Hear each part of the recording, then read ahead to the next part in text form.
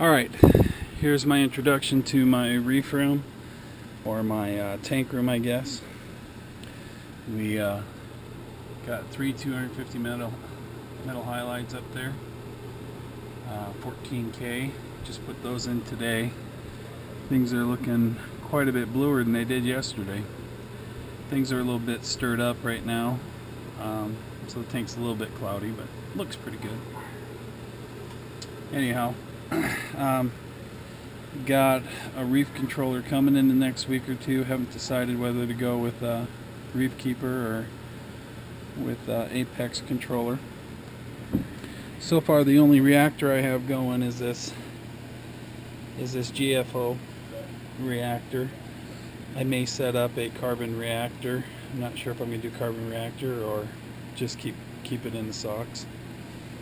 Um, and I haven't figured out. So far, I've just been slowly dosing with uh, calcium and or with kalkwasser because I uh, I don't have a whole bunch of a load yet, or I don't use up a whole bunch of kalkwasser yet, or calcium.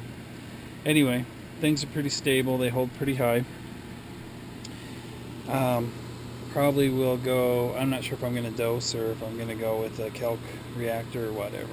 Anyway, so here's the sump. I'm going to have to go to the other side and get out of the light. I got a light shining in here because there's usually not light down here.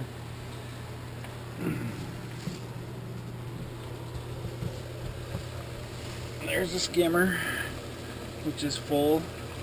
Last couple days it's been filling up in about 12 hours. I'm just dried out a little bit. And then here's my homemade sock holder works great. I plumb this is my overflow. Anyhow.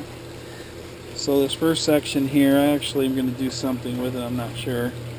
Probably get some rock in there and maybe uh, put in a mantis shrimp or something. A buddy of mine's got a couple of them and I think they're beautiful and my problem is, is I'd like to have it more of a display tank than just hiding down underneath my display tank.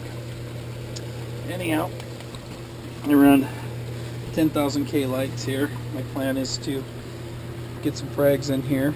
I've had a few frags on this rack, which sits above my refugium. There's my refugium. What I have is I got a pump in the middle of my refugium here.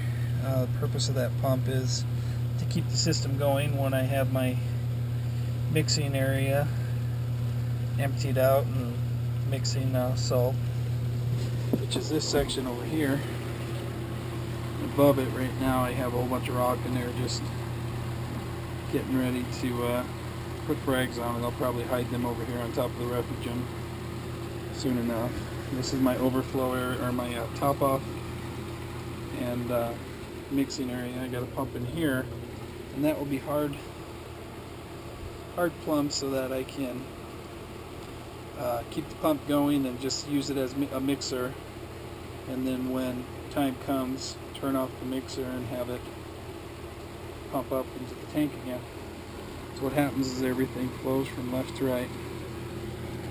Um, eventually that valve down there, sorry for the mess, eventually that valve down there will be um, plumbed into the uh, drain so it'll be a matter of pulling the 20, about 25, 24, 25 gallons out of here. Uh, probably be less actually because how high it is. Um, I'll just be able to drain it, dump the salt in, let it fill up and mix. All done. Okay. There's my ballast. I need to turn them on end so a little more air goes through them. I had a fan over here which was keeping them nice and cool. Now they're a little bit warmer. Actually, they're not too warm right now. Lights have been running for probably 20 minutes. And, uh, and that's my light controller, which I don't have set up quite how I want to yet. Um, I might get one more. That way I can run a few different things off of it. It's a great timer. I really like it. And then there's my lights. I got vents up top eventually doors will be up there and I'll have to shim them out so enough air gets around them. I'll have four doors where I'll be able to access from the front. And then on the bottom I'll have four doors as well. And then here's the tank from the back side, kind of boring. Got the overflows figured out. Bio pellets.